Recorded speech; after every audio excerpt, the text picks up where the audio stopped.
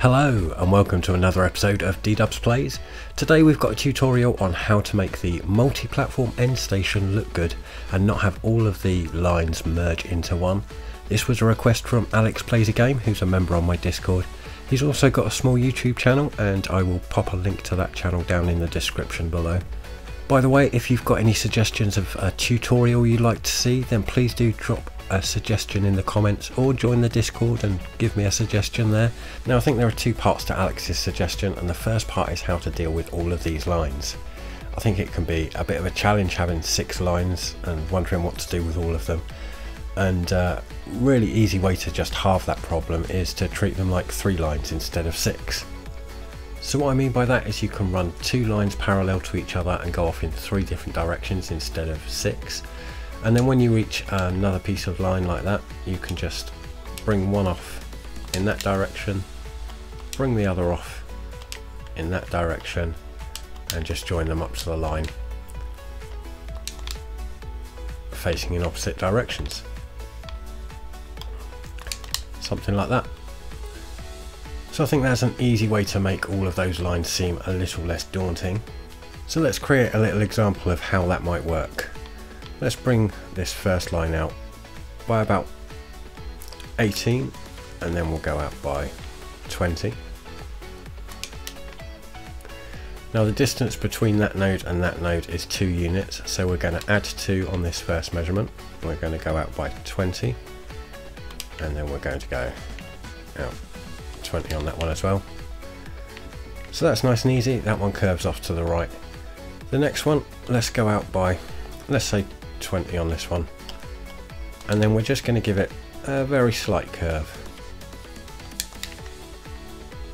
Just to make it a little bit more interesting than a perfectly straight line. Now if we come up to this end we go out just two units same gap that we've got down at the bottom there. That makes it easier to place the node next to this one. Then we just come out until we find that guideline just there.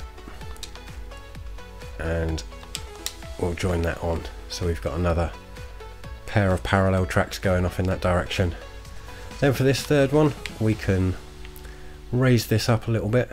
So what we'll do we'll go straight we'll go out by 10 units and let me just make sure I'm on my minimum elevation step. There we go.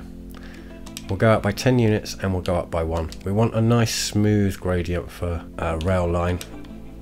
Trains don't like steep slopes so we'll go out at a nice smooth gradient that a train can handle nice and easily. Just match that on this side, so out by 10, up by 1, 10 and 1.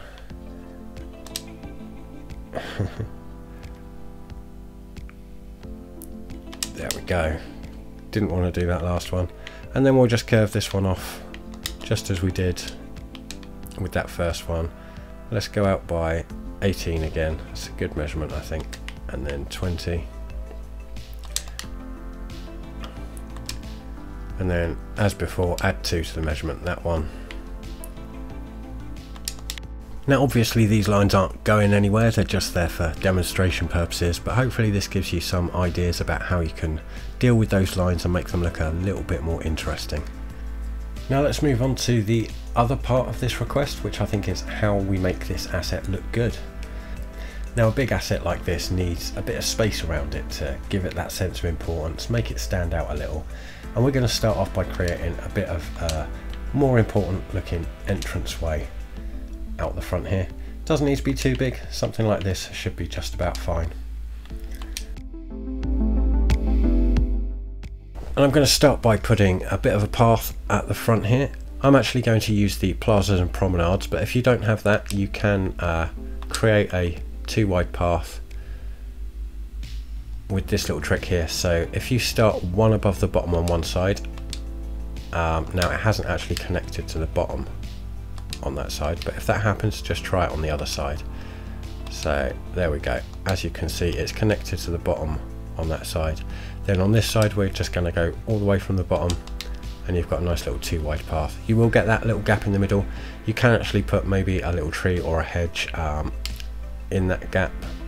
Uh, let me just give you a quick example. So uh, yeah, as you can see, there is a little spot there where we can put some detailing in. So there are ways to uh, pretty that up a little bit.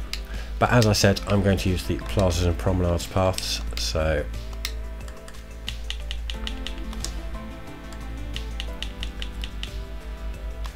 I'm going to pop this one here in. That looks lovely. I'm also going to use a couple of the props from plazas and promenades. Again, if you haven't got this DLC, there are plenty of other options. You can use some of the statues, for example. If you've got the um, Parklife DLC, there's the flower beds. I'm going to use these fountains and I'm going to just turn them around so that these uh, archy bits are facing each other. There we go. Another nice simple detail that I like to use is just these little rows of hedges or sometimes you'll see me use little rows of rocks instead but this is a nice simple way to create a border around an area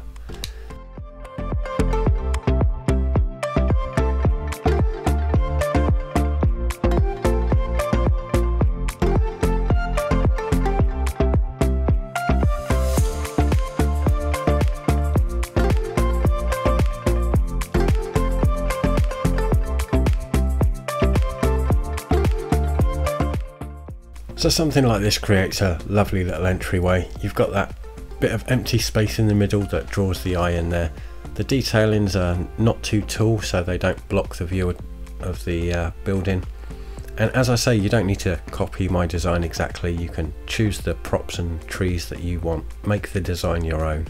But just find your own way to extend the entryway and uh, give it that little touch of awesome sauce.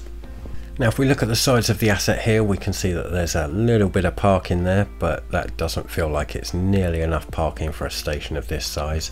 So we're going to again create a bit of space uh, along the sides of the asset here. And we're going to add some of the new parking lots that uh, came with the update now that the uh, hotfix is out and we can actually use them. I'm going to pull the road out to about there. I believe we need nine Let's go, let's go 11.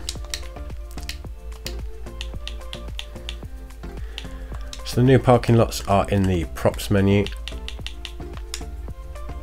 and we can use one of the larger ones and one of the smaller ones here. Lovely job.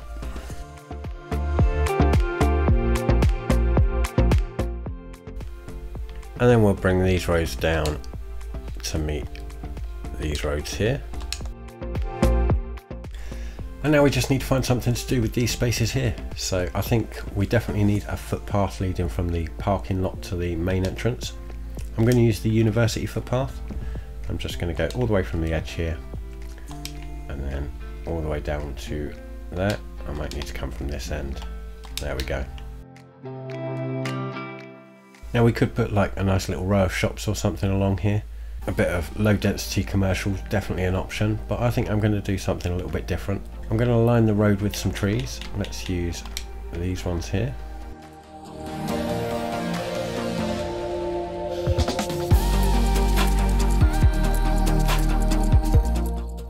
Then I'm going to use some of the tiles from the Parklife DLC just going to try and get those lined up as well as I can with the path I'm just going to create a custom plaza area. I think that's probably big enough. And I'm going to use a selection of stalls and stands. We've got some in the Parklife DLC, some in the plazas and promenades. Going to create a nice little selection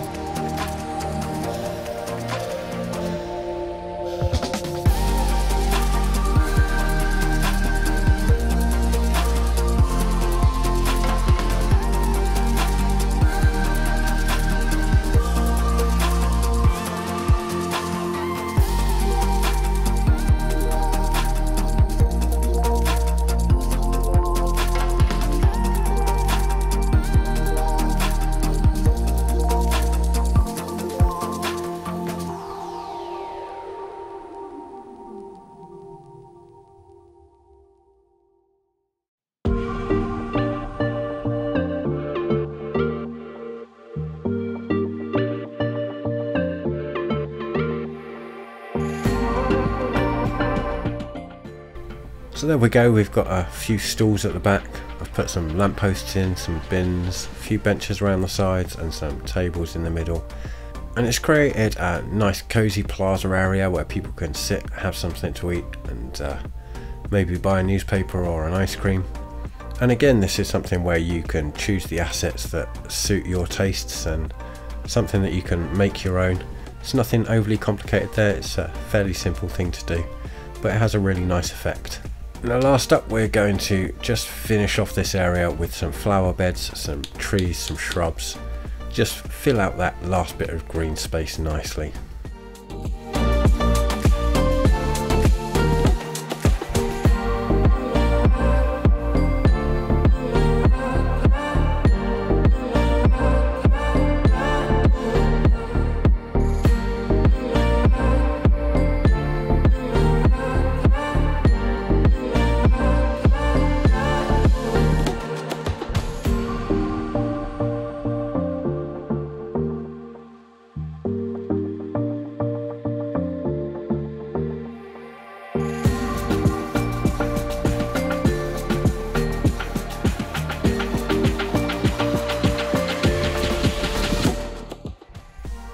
And there we go, we've just filled out that empty green space a little bit and I think we can call that good. So we've got this nice welcoming entryway, we've got the nice plazas at the sides here, a bit of uh, interesting green space and then plenty of parking for the customers. And of course up at the top here we've got some ideas about how to deal with all of those rail lines. Hopefully that's given you some good ideas about how you can use this asset and uh, make it your own. And as I said earlier, if you've got any suggestions about tutorials that you'd like to see, then please do let me know down in the comments or join the Discord and let me know over there. Don't forget to smash that like button, although I accept no liability for cracked screens or broken mouse buttons. And uh, if you're not already subscribed, then consider clicking the subscribe button too. Next week you can join me for another Let's Play episode in Sandy Shores, and I will catch you in the next one.